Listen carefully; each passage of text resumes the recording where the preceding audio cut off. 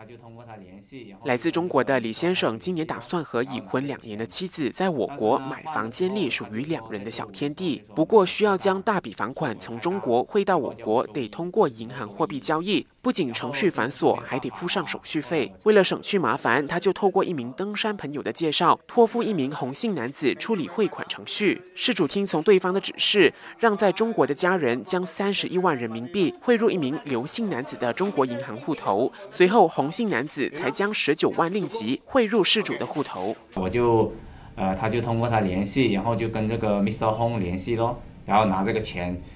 但是呢，换的时候他就说在周五的时候就说没有过账，数额太大，然后叫我周一，我就等到周一。然后真的是没有办法啦，后来我查不到钱，然后银行又说这些单是假的，我才知道我上当受骗了。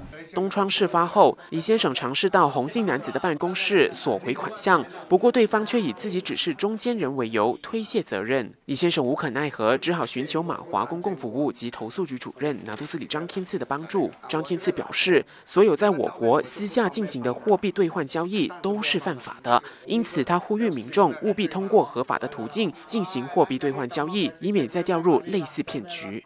ATV 七张俊杰采访报道。